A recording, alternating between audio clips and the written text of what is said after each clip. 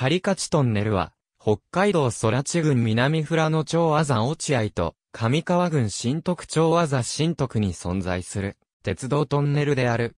本項目では次の二つについて記載する。根室本線に、かつて存在した、仮勝トンネル現在の根室本線の、新仮勝トンネル、仮勝トンネルは、日本国有鉄道根室本線落合駅、新内駅間に存在していた、仮勝峠を越える、全長954メートルの鉄道トンネルである。1907年9月8日開通。1966年に廃止され、封鎖されている。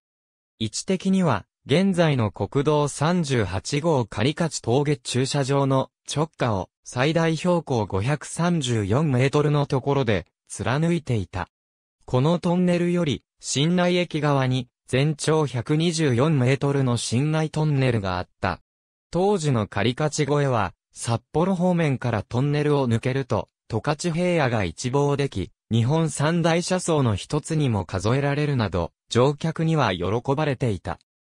しかし、急勾配の上に、トンネル断面が小さく肺炎も悪く、特に、落合方面に向かう列車は、上り勾配による、速度低下と立候による、肺炎増加の上に、熱による、上昇気流や列車が、シリンダー内のピストン溶かすことで、大量の梅炎と蒸気が機関車にまとわりつく、蒸気機関車の乗務員にとっては、絶えず窒息の危険と隣り合わせの難所であった。この吹き返しを防ぐため、後に、両方向のトンネル航行に、人力操作で、蛇腹状に上下する、風よけの幕が設置された。旭川市から、釧路市を結ぶ鉄道ルート中のトンネルとして、計画された。このルートを決定したのは、田辺北郎を責任者とするチームであった。1901年に北海道関節鉄道によって着工され、1905年に関節鉄道に工事が引き継がれ、1907年に完成した。走行費は当時の金額で34万4千円であった。完成まで足掛け7年の年月を要しているが、実際には日露戦争による中断期間も含むため、実態はわずかな期間で完成させた特艦工事そのものである。硬い岩盤と湧水に阻まれる難工事で枕木の数ほどの犠牲者が出たと言われ、タコ部屋労働や人柱の話も伝わる。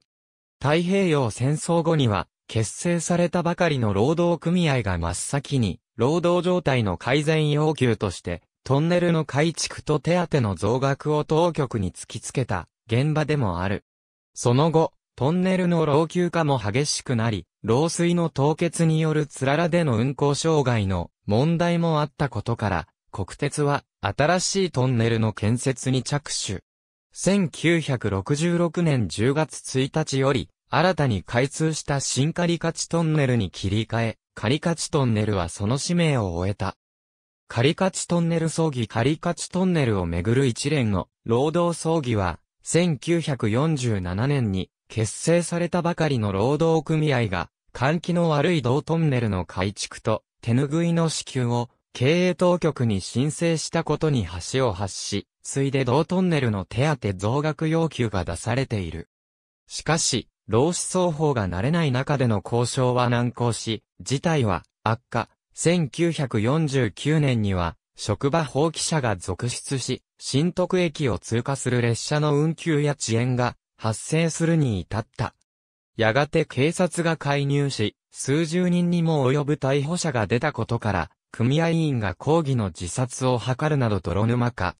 1951年には、マリモ号脱線事件が発生し、葬儀と事件の関連性を疑う警察により、多くの組合員が拘束されて、事情聴取を受けるなどの事態も発生。結果的に労働葬儀は、多くのものに遺恨を残したまま、1966年に、このトンネルが廃止されるまでを引くこととなった。新刈勝トンネルは、北海道旅客鉄道根室本線、関小線の鉄道トンネルである。トンネル内には、上落合信号場が設けられ、同信号場から、新特報は、根室本線、関小線の重複区間となっている。1964年8月8日に貫通し、1966年9月30日、根室本線落合駅新徳駅間の仮勝峠の勾配を緩和するための新線の一部として開通した。このトンネル完成により、仮勝トンネルを通る線は営業廃止となった。完成当初より、赤小線の分岐を想定し、上落合信号場で、落合駅方、トマム駅方の二股に分かれる構造となっており、1981年から赤小線側の共用が行われている。また、断面は将来の交流電化を考慮したものとしている。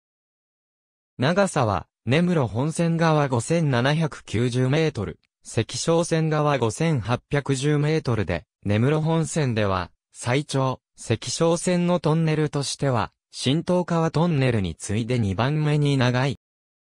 ありがとうございます。